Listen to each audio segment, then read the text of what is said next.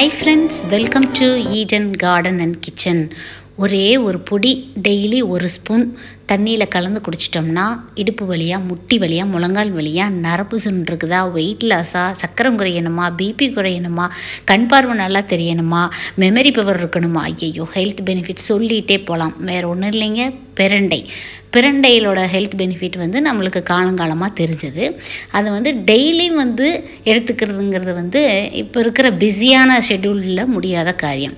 துவையலோ தொக்கோ சட்னியோ பண்ணுனா ஒரு வாரத்தில் ஒரு நாள் ரெண்டு நாள் அப்படி யூஸ் பண்ணுவோம். ஆனால் தொடர்ந்து எடுத்துக்கும் போது தான் அதோட பெனிஃபிட் வந்து நம்மளுக்கு கிடைக்கும் அப்படிங்கிற மாதிரி நிறைய சொல்கிறாங்க அது அதனால் அவ்வளவு சத்துக்கள் நிறைஞ்சிக்கிற இந்த பிரண்டை பொடியை ரொம்ப ஈஸியாக ஒரு அரை மணி நேரத்தில் வீட்டில் தயாரிச்சுட்டு மூணு மாதம் வரைக்கும் நம்ம ஃப்ரிட்ஜில் ஸ்டோர் பண்ணி வச்சுக்கலாம்.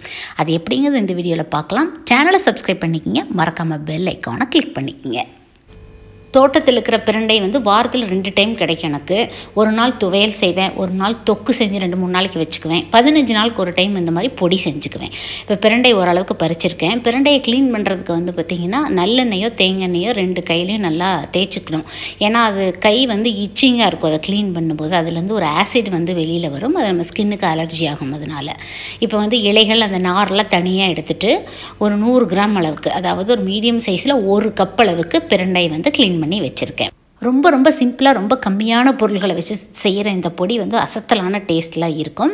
அதில் ஒவ்வொன்றா என்னென்னு பார்க்கலாம் ஒரு ஃப்ரையிங் பேனில் கொஞ்சமாக நல்லெண்ணெய் விட்டு சுத்தம் பண்ணி வச்சுருக்கிற பிரண்டை வந்து நல்லா வறுத்துக்கலாங்க. அதாவது நல்ல டீப் ஃப்ரை அதாவது மீடியம் ஃப்ளேமில் அதை க்ரீன் கலர் வந்து லைட் ப்ரௌன் கலராக மாறணும். அப்போ தான் வந்து அந்த பிரண்டையில் இருக்கிற அந்த ஆசிட் ஒன்று வரும்னு சொன்னேன் இல்லையா? அது வந்து இல்லாமல் இருக்கும். இப்போ இந்த அளவுக்கு வறுத்தாச்சா? அடுத்து வந்து சின்னதாக ஒரு துண்டு பெருங்காயம் அப்புறம் ஒரு கப் அளவுக்கு கருவேப்பிலை சின்ன நெல்லிக்காய் அளவு புளி பத்து வரமிளகாய் இதையும் நல்லா ஃப்ரை பண்ணிக்கலாம். அந்த திரும்ப எண்ணெய் ஊற்ற வேண்டாம். அந்த ஆயிலே வந்து கருவேப்பிலையெல்லாம் நல்லா முறு முறுன்னு ஆகிற அளவுக்கு வறுத்து எடுத்து வச்சுக்கலாம். இப்போ பிரண்டையும் கருவேப்பிலை இதெல்லாம் ஆறிட்டுருக்கட்டும் அடுத்து வந்து எண்ணெய் விடாமல் முக்கால் கப்பு உளுந்து.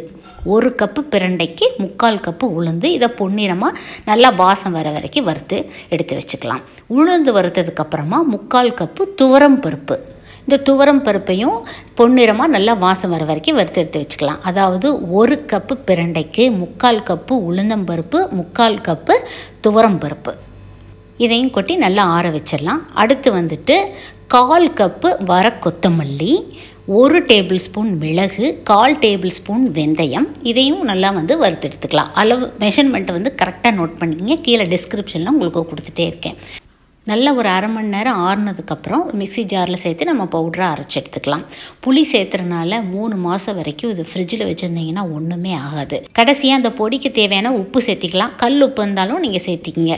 இப்போ வந்து எல்லாமே வறுத்து சூடாக இருக்கிறனால வந்து சீக்கிரமாக வந்து அரைப்பட்டுரும். இப்போ பொடி வந்து நல்லா சூடாக இருக்குது. சீக்கிரமாக அரைச்சி எடுத்துடலாங்க இது.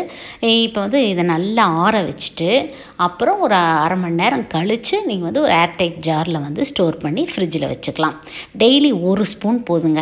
சூடான சாதத்துக்கு உங்களுக்கு நெய்யோ நல்லெண்ணெய்யோ உங்களுக்கு எது விருப்பமோ அதில் போட்டு பிசைஞ்சு சாப்பிட்டீங்கன்னு வச்சுக்கோங்க. வேறு லெவலில் இருக்கும். இட்லி தோசைக்கு வந்து இட்லி பொடி மாதிரி கூட இதை நம்ம யூஸ் பண்ணிக்கலாம்.